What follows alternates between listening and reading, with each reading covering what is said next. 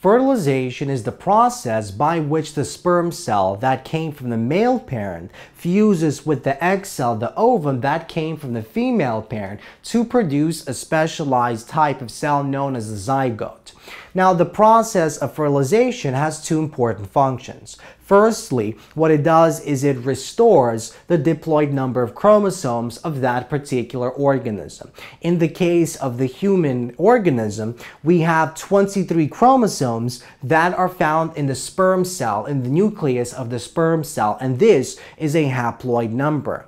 Likewise, the egg that came from the female parent contains 23 chromosomes, a haploid number in the nucleus. And when these two cells, the sperm and our egg, fuse, the number of chromosomes is restored. 23 plus 23 gives us 46, a diploid number of chromosomes. What fertilization also does is it activates the egg. It transforms the egg into the zygote, and this begins several processes, metabolic processes, that eventually lead to and initiate embryological development, as we'll see in the next several lectures.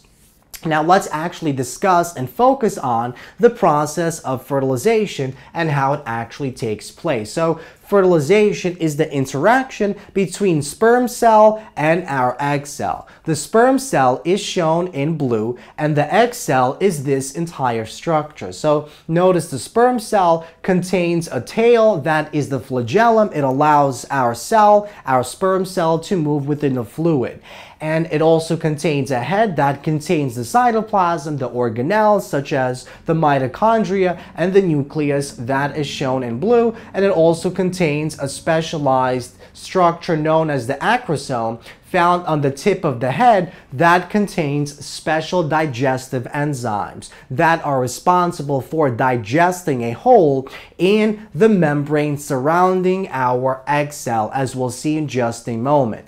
Now, if we look at our egg cell, the egg cell also contains its own nucleus that contains a haploid number of chromosomes. This is the cytoplasm of our cell, and it also contains organelles that are not shown we have the plasma membrane of the egg cell shown in purple, and we have these cortical granules, these vesicles that contain special enzymes that help initiate the process known as the cortical reaction, and we'll discuss what that is in just a moment.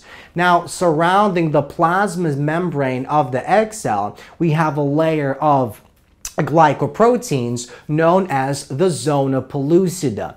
And the first contact that takes place between the sperm cell and our egg cell takes place at the zona pellucida. So when the sperm cell contacts the egg, it interacts first with this layer of glycoproteins known as the zona pellucida. And what happens is the acrosome structure found on the apex, on the tip of that sperm cell, releases these digestive enzymes that begin digesting a hole in the zona pellucida. And when this happens, two important processes take place.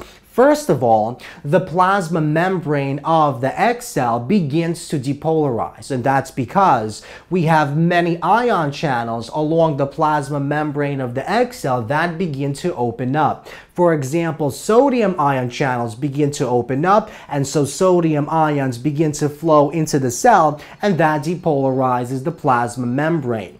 What also happens is calcium ions also flow into our cytoplasm as a result of the opening of those uh, channels, ion channels. And when calcium concentration increases inside the cytoplasm of the cell, these granules these vesicles we call cortical vesicles begin to fuse with the membrane of our cell and via this exocytosis process the enzymes within these cortical granules are released into the zona pellucida. And what these enzymes do is it essentially reinforces that zona pellucida membrane. It changes the composition of zona pellucida and it forms the fertilization membrane. And this is shown in the following diagram. And what the fertilization membrane does is it prevents other sperm cells from actually entering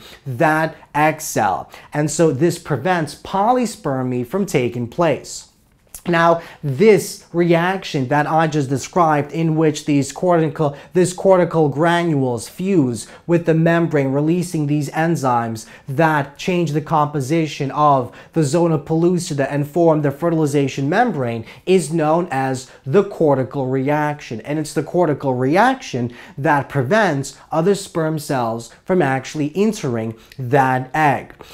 Now, let's take a look at the following section of the diagram. So in this section, we see that once we actually drill a hole in the zona pellucida, eventually that sperm cell will make its way to the membrane of that egg cell. And the membrane of the sperm cell and the membrane of the egg cell will begin to fuse. And as they begin to fuse, we have this opening where the nucleus of that sperm cell will make its way into the cytoplasm of that egg cell. And eventually, that sperm nucleus will make its way to the egg nucleus. We have the fusion of these two nuclei, and we restore the diploid number of chromosomes. We combine 23 chromosomes from the male parent and 23 chromosomes from the female parent to produce 46 chromosomes, which is the diploid number of chromosomes in the human organism.